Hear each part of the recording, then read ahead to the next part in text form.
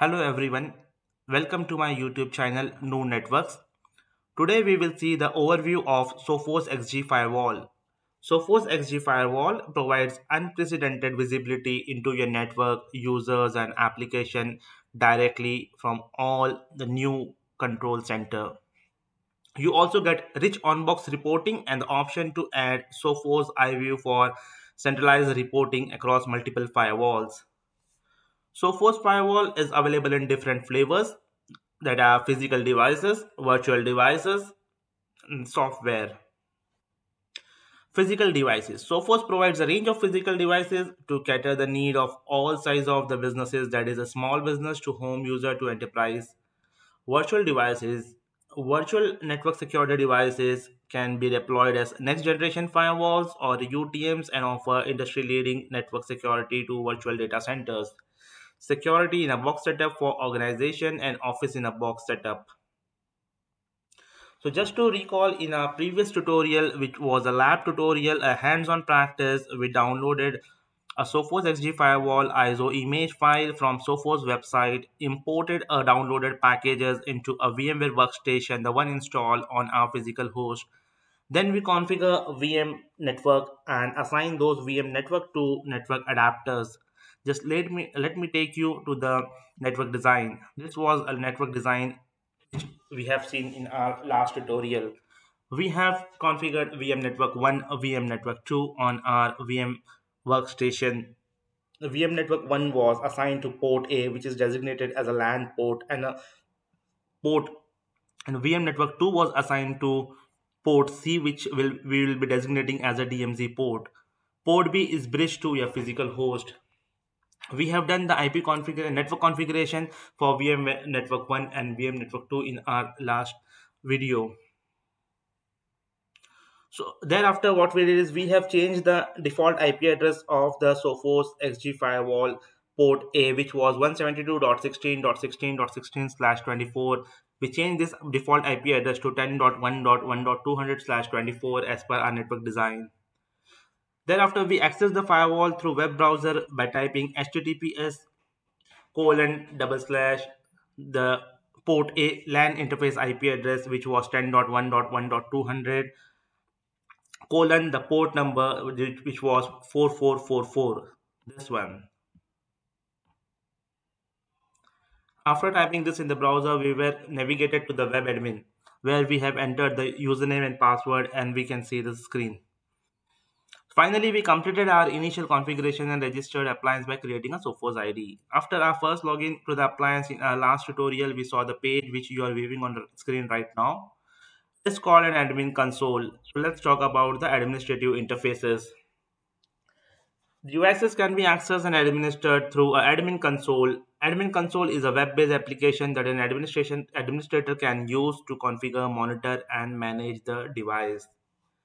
Command line interface. Command line interface CLI console provides a collection of tools to administer, monitor, and control certain components of the devices. The third comes the Sophos Firewall Manager. It distributes Sophos devices can be the distributed Sophos devices can be centrally managed using a single Sophos Firewall Manager device (SFM device). The SFM device we will be deploying in the coming tutorial. So let's see one by one. Admin, when you talk about the administrative access, the one which you are seeing the GUI, which you, it is accessible through a web browser. This is called as a admin console.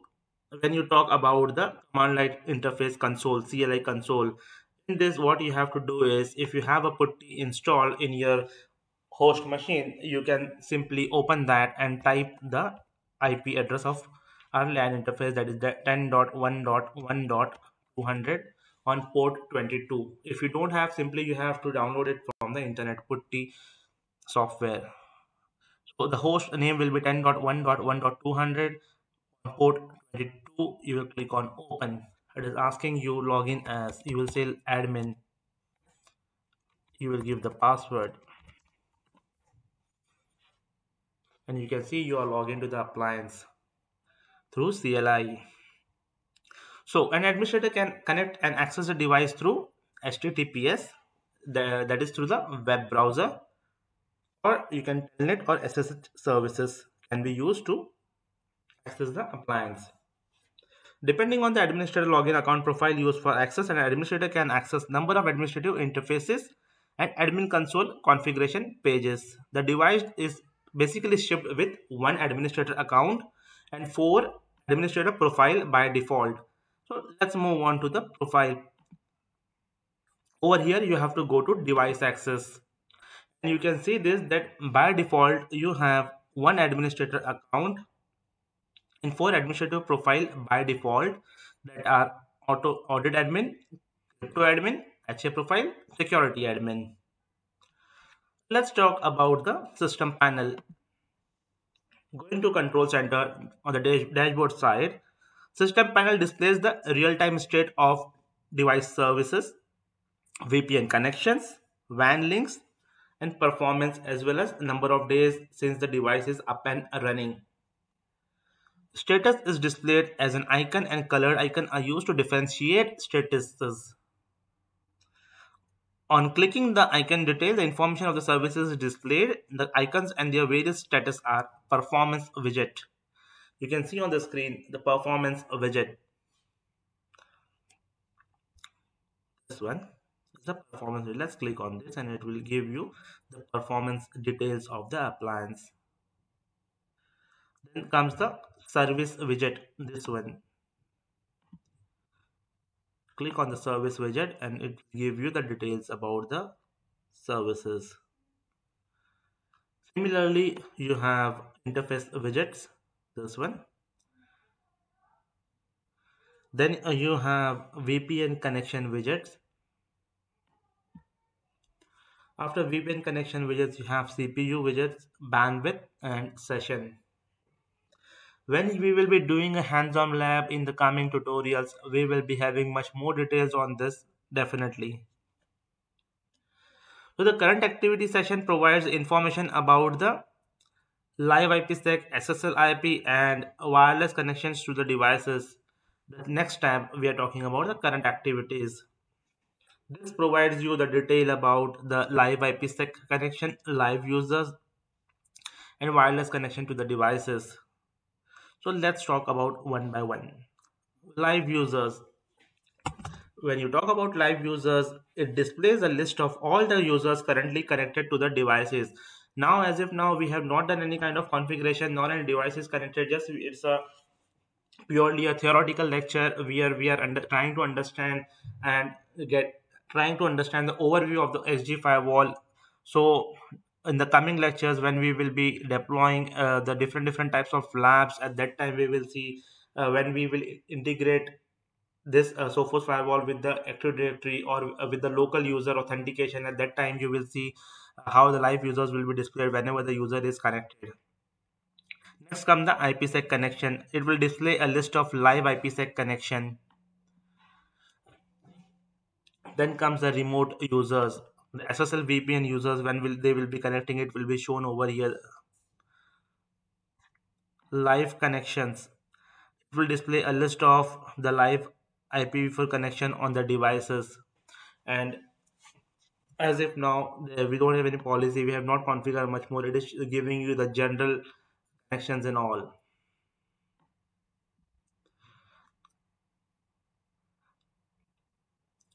let's talk about diagnostic.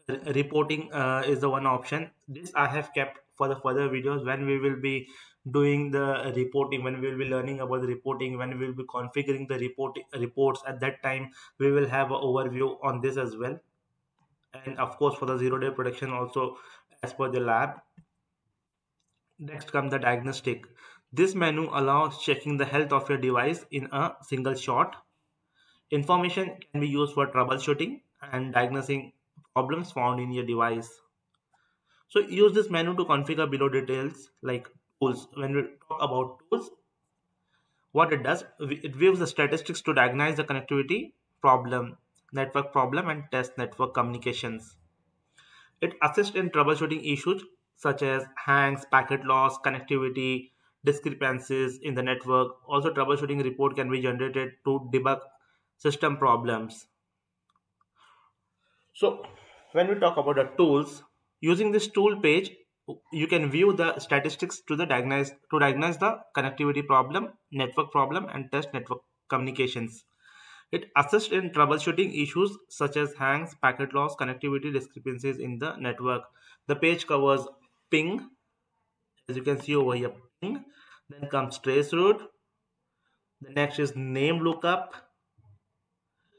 route lookup and consolidated troubleshooting report. So like let's say for example if you need to check the reachability of any ip addresses from this particular uh, appliances uh, let's uh, just try to google dns you can go by interfaces by interfaces but now we are in the initial phase and we haven't configured much more on this firewall. We're just uh, looking after the overview. So we will see by default. So we are trying to ping 8.8.8.8 google dns so since uh, your WAN interface is bridged to this, so traffic is uh, routed from the port 2 of the firewall and you can see that uh, you are able to ping 8.8.8.8. Similarly, you can trace the path for the Google DNS or you can try for the name lookup. Additionally, uh, you can do the route lookup and console you can consolidate the troubleshooting report we haven't configured any DNS server IP. This IP 192.168.0.1 it has taken from my gateway router. So we will be changing this IP address as well and definitely when we will be doing a lab we will be trying uh, multiple combinations over here for the better understanding. This is just an overview. Next comes the system graph. It is used to view graphs per, uh, pertaining to the system related activities for different time intervals. Next comes URL category lookup. It is used to search whether the URL is categorized or not.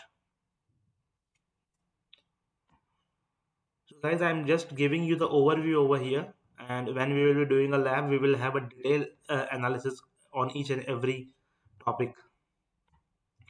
Next comes the packet capture. It displays the packet details on the specified interface have to configure some basic configuration and you can see how the packets are captured and all. This also we will see in the supporting lab. Then comes the connection list. It provides current or live connection snapshot of your device in the list form. As you can see over here some of the entries are being shown. Uh, it is shown that the time is so and so connection id in interface is port a and the source IP is 10.1.1.1 destination IP 10.1.1.200 and the last tabs in the diagnostic comes the support access. This page you can use to grant support staff temporary access to your device. Whenever you are trying to raise a ticket at that time you can use this option. You can open the support ticket enable the support access and so on. And thereafter you have access setting whether you want to grant access for how much time one day, one week, and so on. Access status will be shown finally when the support tunnel is established.